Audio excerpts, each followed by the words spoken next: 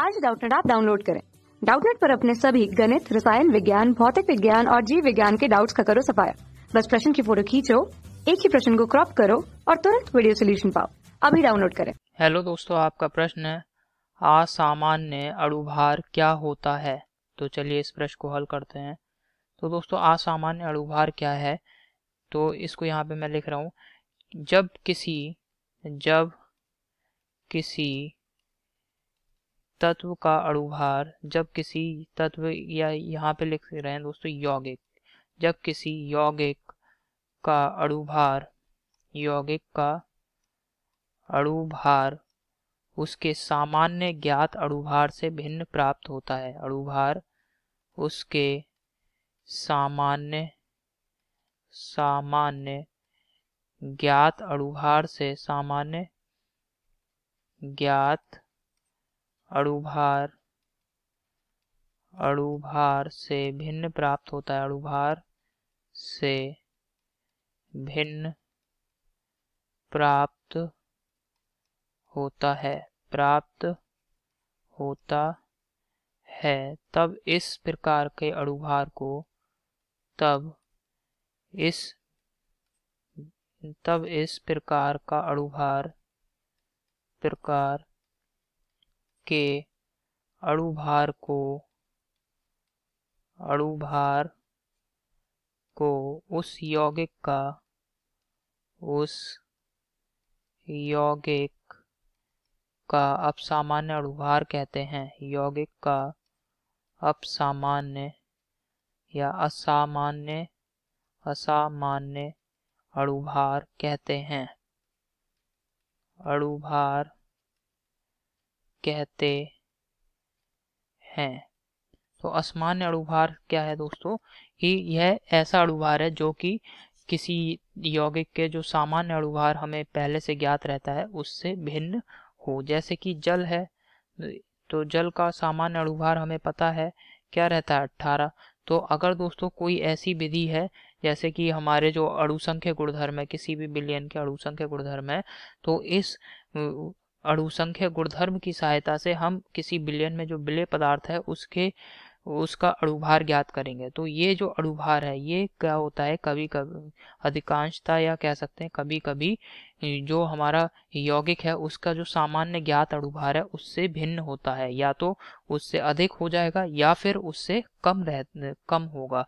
तो यहाँ पे भिन्न अणुभार हमें प्राप्त होगा। तो ये जो भिन्न अड़ुभार है, जो कि सामान्य अड़ुभार यौगिक के ज्ञात सामान्य अड़ुभार से भिन्न है, उसके बराबर नहीं है। इस प्रकार के अणुभार को ही हम क्या कहते हैं उस यौगिक का असामान्य अणुभार कहते हैं। जैसे जल का अणुभार दोस्तों यहाँ पे अठारह है। अब अगर अणुसंख्य गुणधर्म की सहायता से हम जल का जल का क्या करेंगे, अणुभार ज्ञात करें और अगर ये दोस्तों इससे भिन्न आ रहा है, जैसे मान लिया हमने हमें 19 प्राप्त हो रहा है तो दोस्तों ये जो 19 आया है जल का अणुभार ये क्या है? जल का असामान्य अड़ुभार है।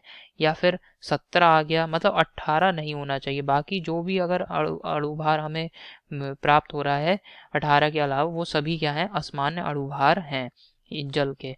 तो यहाँ पे दोस्तों अड़ुसंख्य गुणधर्म में अणुसंख्य गुणधर्म की सहायता से जब भी हम किसी यौगिक का अणुभार ज्ञात करते हैं तो वो सामान्यता अधिकांशता देखा गया है कि वह उस यौगिक के सामान्य अणुभार से या तो अधिक रहता है या फिर थोड़ा सा कम रहता है। तो इस असमान, असमान्य अणुभार को क्या कहते हैं? असमान्य उस यौगिक का अब सामान्य असामान्य अणुभार कहते हैं। अब ऐसा क्यों हो रहा है दोस्तों? क्योंकि कुछ यौगिक ऐसे होते हैं जिनमें या तो संगुणन की क्षमता होती है या फिर उनमें वियोजन की क्षमता होती है। जैसे कि अब एन है। एनएसीएल का अगर हम बिलियन बनाएँगे तो ये बिलियन में जैसे, बनाने के लिए जब हम एनएससीएल को घोलेंगे ब्लायक में तो ये वियोजित हो जाएगा एन प्लस और सी माइनस में।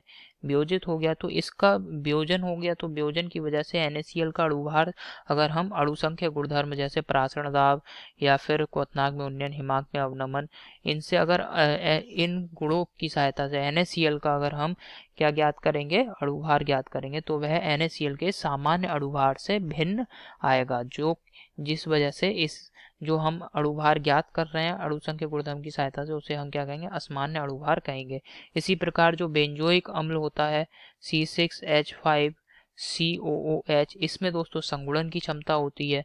तो जब इसको बेंजीन में डाला जाता है, बेंजीन में घोलकर बिलियन बनाएँगे तो चूँकि इसके अणुओं में हाइड्रोजन बंद बन जाता है तो हाइड्रोजन बंद बनने से ये संगुणित हो जाते हैं, संगुणित होकर इसके दो अणु एक बृहद अणु में परिवर्तित हो जाएँगे। तो C six H five C O O H का होल ट्वाइस तो यहाँ पे दोस्तों आप देखेंगे अणुभार जो है वो कम हो जाएगा क्योंकि यहाँ संगुणन हो रहा है। तो इस इस प्रकार जो अणुभार हमें प्राप्त हो रहे हैं, जो कि सामान्य अणुभार से भिन्न है, इन्हें ही हम सामान्य अणुभार कहते हैं। तो यह हमारे प्रश्न का उत्तर है। आशा करता हूँ आपको समझ में आया होगा दोस्तों। धन्यवाद। कक्षा छठी से बारहवीं से लेकर NEET I I T JEE वो एडवांस के लेवल तक। एक करोड़ से ज़्यादा छात्रों का भरोसा। आज ही डाउनलोड करें डाउट नेट ऐप या व्हाट्सएप करें अपने सारे डाउट्स आठ चार सौ चार सौ चार सौ पर।